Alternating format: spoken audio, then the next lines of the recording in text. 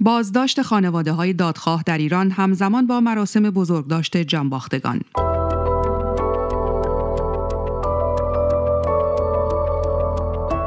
سلام من توبا زکیپور با این برنامه دیدگاه همراه شما هستم.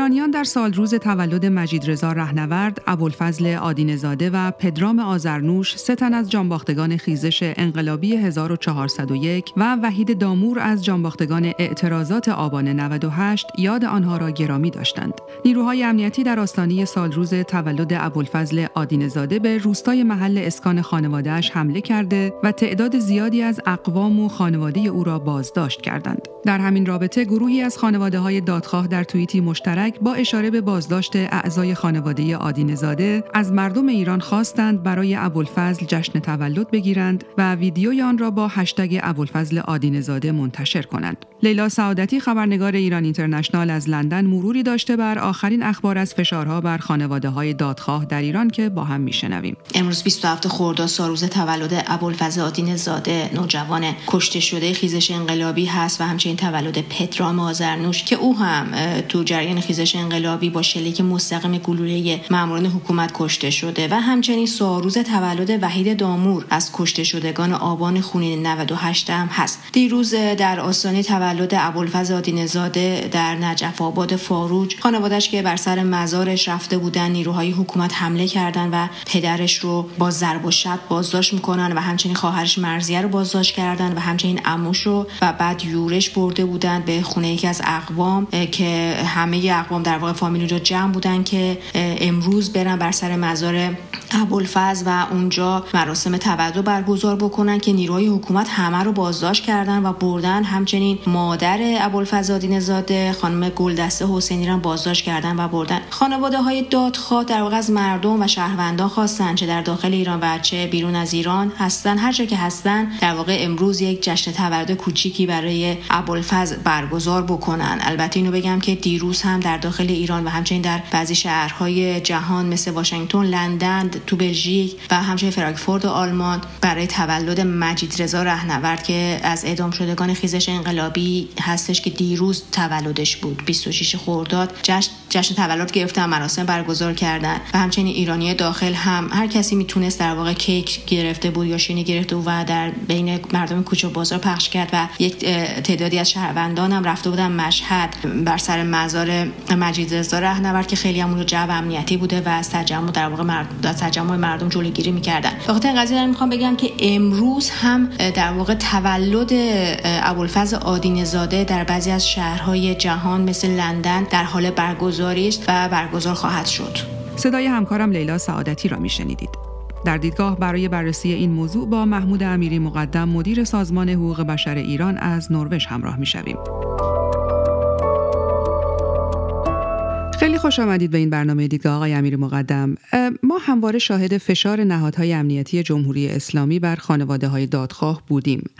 اما در روزهای اخیر موج جدیدی از بازداشت خانواده های دادخواه به راه افتاده. فکر می کنید این حجم از فشار و تهدیدهای جمهوری اسلامی بر خانواده های دادخواه چه دلایلی داره و حکومت به دنبال چیه؟ بله درود بر شما. ببینید به طور کلی جمهوری اسلامی با, با وجود گذشته نه ماه از آغاز اعتراضات هنوز ترکی می‌خواد موفق نشده که کنترل رو در دست بگیره. هنوز هم گوش و کنار کشور اعتراضاتی هست و شدیدا بیم داره از اینکه در یک مقطع دیگه دوباره اعتراضات با همون وسعت آغاز شه. و سعیش الان این هست که از این جلوگیری کنه یعنی از اعتراضات بیشتر. اون در واقع چیزی که میشه گفت بزرگترین خطری رو که احساس می‌کنه از سمت خانواده هاست خانواده های دادخواه هست و این خب یک در واقع یک پیشینه تاریخی هم داره. حتی در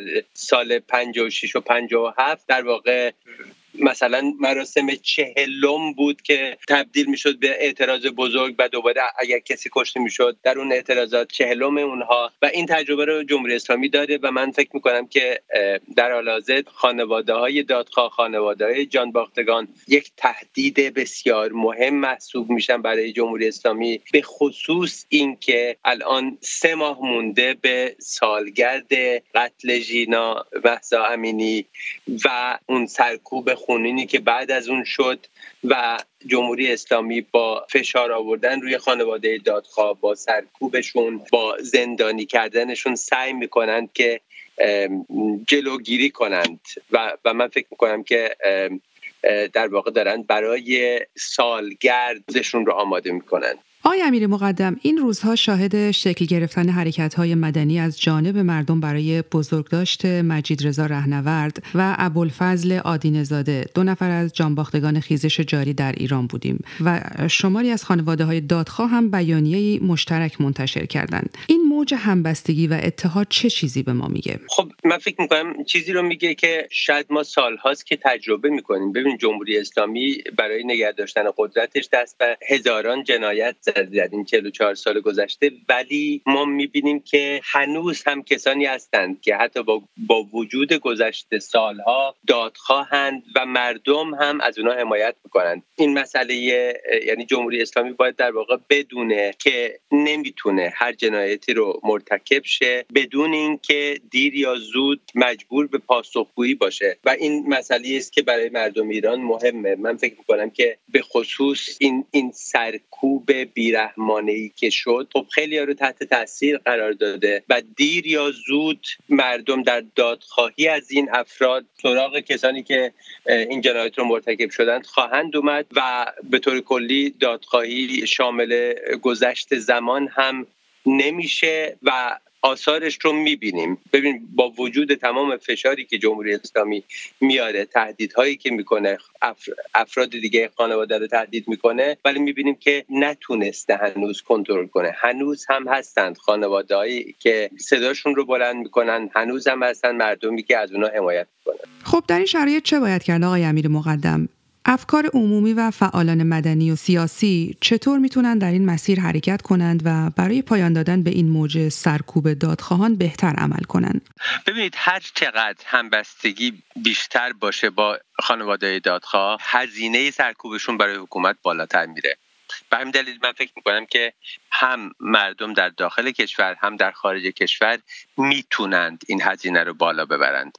ببینید این خانواده رو نباید تنها گذاشت. مراسم گرفتن حالا مراسم تولد یا مراسم عزاداری این جرم نیست. بر اساس هیچ قانونی جرم نیست. همین دلیل من فکر می‌کنم که در داخل کشور خب اونجایی که ممکن هست حالا جامعه مدنی شخصیت ها مردم عادی هر جایی که هستند می‌تونند با این خانواده ها باشند. حالا میشه از راه دور میشه در اونجا حضور پیدا کرد. در خارج کشور به خصوص نباید گذاشت که این عزیزان فراموشی سپردشند ببینید حالا در فضای اجتماعی خب یک طرف ولی میشه مراسم هایی هم در خارج کشور برگزار کرد. میشه در رسانه های بین المللی در این مورد نوشت. به طور کلی هر چقدر بیشتر توجه بگیرند هزینه سرکوب این خانواده برای حکومت بالاتر میره و هزینه برای حکومت مهمه. آقای امیر مقدم سازمان عفو بین الملل هم با هشدار در مورد خطر جدی اعدام قریب الوقوع محمد قبادلو در نامه‌ای به رئیس قوه قضاییه ازش خواسته که حکم اعدام این معترض جوان رو لغو بکنه. چرا با وجود هشدارها و بیماری آقای قبادلو باز می‌بینیم که حکومت اصرار بر اعدام این معترض داره؟ اساسا کنوانسیون های حقوق بشری درباره اعدام افرادی که از بیماری های روحی روانی رنج می‌برند چی میگن؟ بله. ببینید به طور کلی ما می‌دونیم که جمهوری اسلامی اراده کرده که اونجایی که ممکن هست با سرکوب شدید از اعتراض بیشتر جلوگیری کنه و یکی از مهمترین ابزارشون هم صدور احکار احکام اعدام و اجرای اونها هست.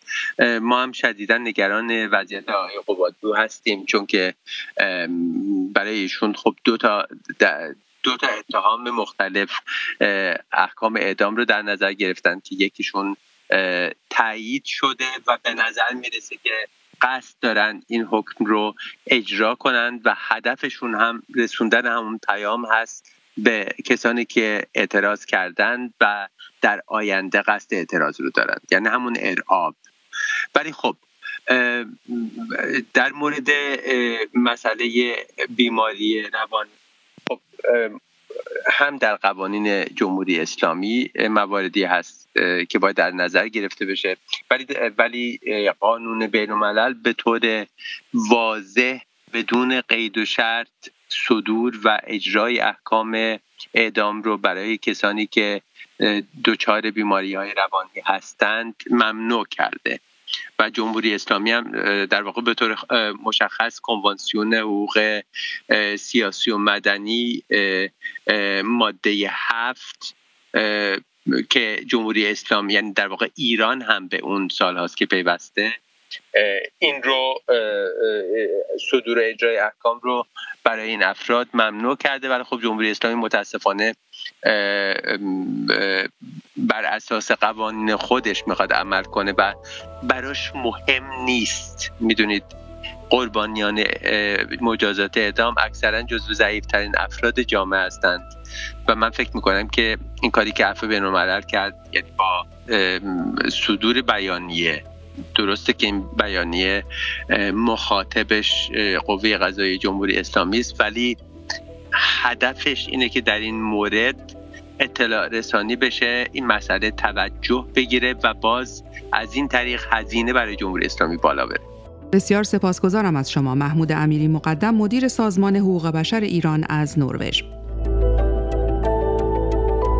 من توبا زکی پور از طرف خودم و رضا اکوانیان تهیه کننده این برنامه دیدگاه از همراهی شما با این برنامه سپاس گذارم.